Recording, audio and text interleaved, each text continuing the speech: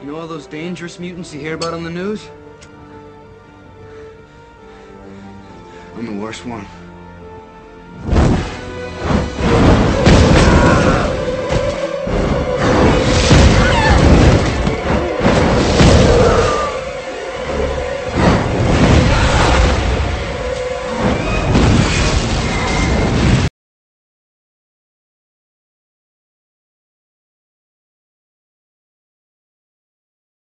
There are two important mechanisms in this project.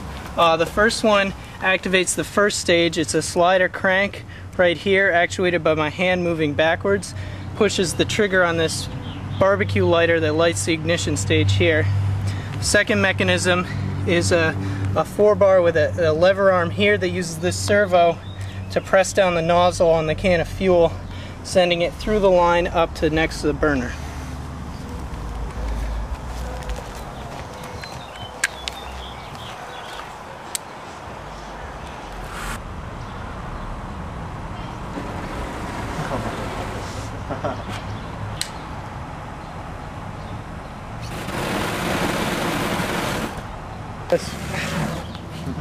Yes.